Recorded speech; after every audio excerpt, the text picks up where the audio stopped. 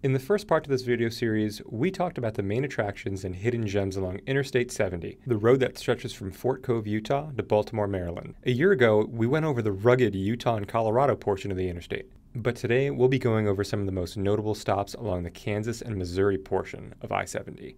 So, let's get into it. Just about two hours east of the Colorado Kansas border is the small town of Hays. If you're wanting to spend a night here, Hays has plenty of options for consistent brand name hotels and chain restaurants.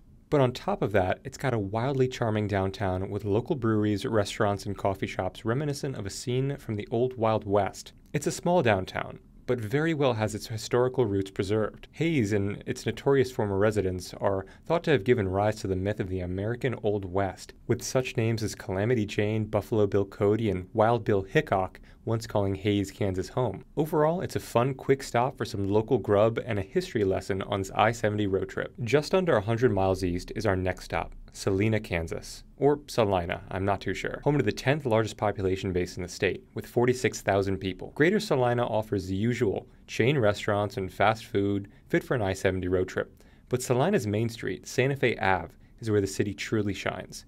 Salina's quaint downtown has enough offerings for any craving Jamaican, Italian, and Mexican, all within the downtown corridor. Pretty diverse offerings for a town in the middle of Kansas, and a large park walking distance from the city center, home to the Statue of Liberty. Well, a mini one, anyways, built in 1950. If you do nothing else in Salina, be sure to make a pit stop at the Garage Automotive Museum, home to a state of the art gallery showcasing dozens of cars, old, new, and sporty. Abilene, Kansas is our next stop, about 30 miles east of Salina. Abilene is by far the smallest town on this stretch of the road trip, with a population of just over 6,000 people, it's home to the Dwight D. Eisenhower Presidential Library, Museum, and Childhood Home. While admission to the museum is $20 for adults, the complex is open daily and is home to walking trails, parks, and even the gravesite of the father of the U.S. interstate system himself. I'm sure he'd be proud to see how much it's grown since his signing of the Federal Aid Highway Act of 1956, and how much it helped connect and unite the country. Now, do I wish someone would sign a hypothetical Federal Aid High Speed Rail Act of 2023? Sure but there's no denying how integral these cross country interstates are when it comes to everything from moving product quickly to moving people efficiently over thousands of miles. Small towns like Abilene might have very well become ghost towns by now if it weren't for the interstate system connecting places like it with the rest of the country. Would Abilene even be granted a stop on high speed rail? Let me know what you think in the comments down below. This next stop might be cheating a little, but it can't not be included. 43 miles east of Abilene is Manhattan, Kansas. Okay, it doesn't look like that Manhattan, even though it is named after it. It looks like this, and it's only 9 miles off the beaten path of I 70, along Kansas Highway 18. This lively college town is super fun stop on I 70. Their downtown, also called Aggieville, is filled with college town bars, pubs, and a few nightlife venues. If Kansas State is playing, Aggieville is the place to be. If you aren't at the actual game, that is.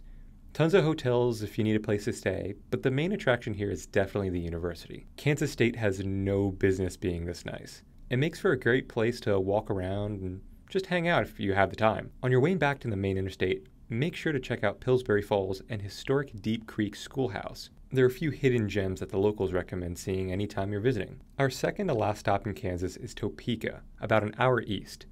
You've heard of this one. Topeka is the capital of Kansas, so why not take a tour of maybe the coolest looking Capitol building in the US, with plenty of history attached to it as well. Topeka has a lot of attractions for a city its size. Lake Shawnee is popular in the summer months for outdoor water activities, but if you're looking for something quirkier, definitely stop off at the Evel Knievel Museum, which apparently is a thing. And although I think it's a bit overdone at this point, Yes, Topeka has its own Stonehenge art exhibit. Topeka's biggest attraction is Gage Park, which houses its Children's Discovery Center, the Topeka Zoo, Rose Gardens, and their amphitheater. Our last stop in Kansas is my favorite. It's the city of Lawrence. Lawrence, like Manhattan, is a college town, home to the University of Kansas, the biggest college in the state, and the downtown is what tells the story here. Lawrence is the quintessential college town. College sports are a big part of the culture here, and everyone is repping the Jayhawks. Whether it's game day or not, the downtown is always bustling, usually with students walking from the campus nearby. One of my favorite things about college towns is their walkability. Walking around campus, downtown, the various parks, all are possible in and around the college area. Massachusetts Street is filled with shops, bars, restaurants, performance venues, and much, much more. Just make sure you're not wearing purple. Or yellow while you're out exploring. If your road trip allows for it, take advantage of watching a Kansas football or basketball game to experience some of the best college sports in the nation right here in eastern Kansas. Our first stop in Missouri is, of course, Kansas City. As you could probably guess, there's a lot to cover in Kansas City, enough for an entire video on its own, being that it's the home to the Kansas City Chiefs of the NFL, the Royals of the MLB, and the Sporting Kansas City of the MLS, along with world class shopping, dining, and amenities. Out of all the cities in this video, this is the most populous, with around half a million people as of 2021 and growing. This is a road trip video, so you may only have a night or two to spend in the city, so let me fill you in on a few of my favorite things to see. Old Westport is a great neighborhood to spend the night, with plenty of accommodations as well as some of the best breakfast food in town. My favorite spot here is First Watch, which is a smaller chain restaurant, but if you're looking for a local option, Westport Cafe and the Denver Biscuit Company come highly recommended. Old Westport lies at the cross street of Westport Road and Pennsylvania Avenue, where the Santa Fe, Oregon, and California trails once crossed. So there's a lot of history to be found here too.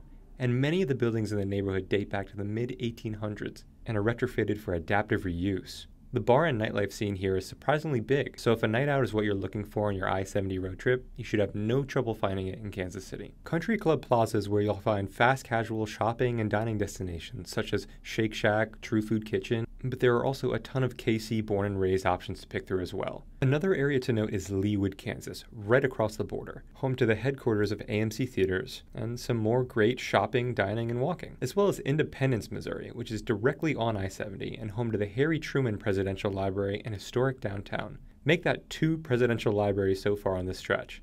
And make sure to check out Blue Springs for some great nature walks mere feet from I 70. Between Kansas City and our next city, there's really not much to do or see. It's a wide two hour stretch of farmland and small, small farm towns. But our next stop is no small town. With 126,000 people smack dab in the middle of the state, it's Columbia, Missouri, home to the University of Missouri, and another incredible college town atmosphere. The university and downtown are almost one and the same, bleeding into each other, which makes for a great game day atmosphere.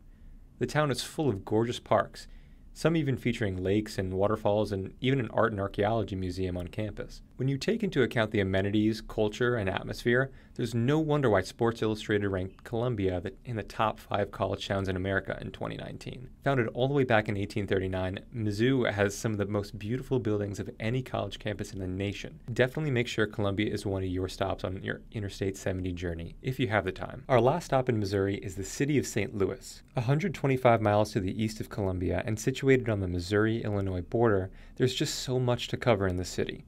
Let me know down in the comments if you'd like to see a video covering some of these bigger cities on the interstates more in depth, like I did in my video about Charleston, South Carolina.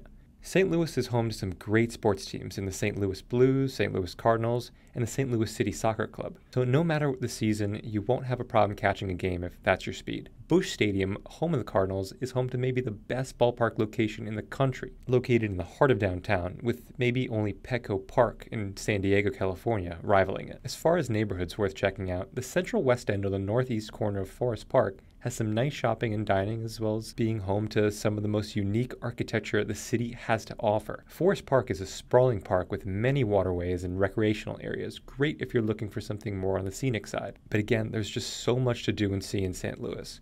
If the weather is nice enough, definitely spend some time on the riverfront, you can take advantage of breathtaking views of the Mississippi River, with the Eads Bridge and the William L. Clay Senior Bridge on either side of you and the Gateway Arch leading right into downtown. St. Louis truly is the gateway to the West, and you can feel it here. But next time, we're continuing our travels eastbound into the states of Illinois and Indiana. Let me know down in the comments section which interstates you'd like to see covered in future series. Leave a like and subscribe so you don't miss any future uploads, including part 3. Until next time, from town, city, state.